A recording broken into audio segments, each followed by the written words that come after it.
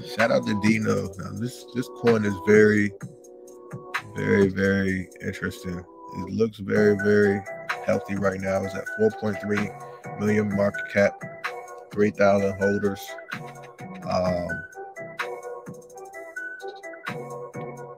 so this started um, November 11th. So it's a fresh coin. Um, I have heard about Dino. It's number seven right now.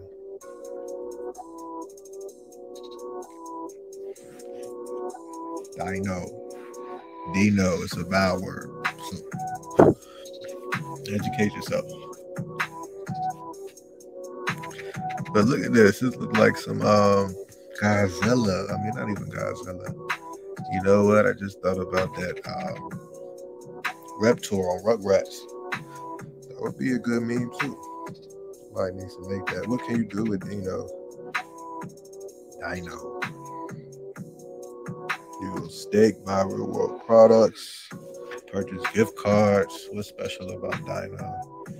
Not your regular meme coin. All the generic Guardian. Yes, you can stake. Yes, they're gonna burn.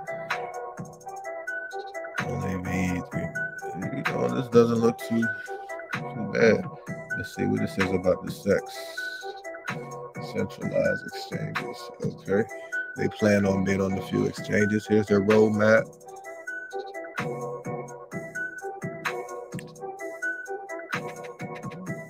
They got staking.